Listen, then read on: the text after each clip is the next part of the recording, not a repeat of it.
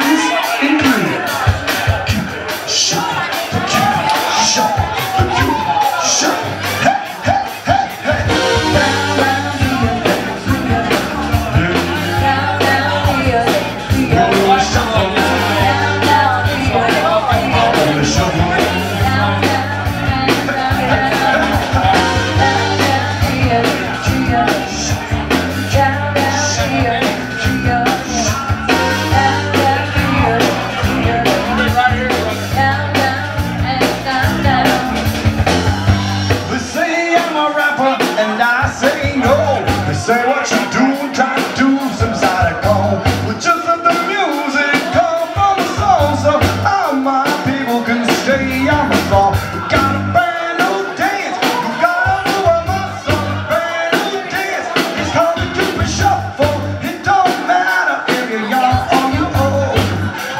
show you how it goes.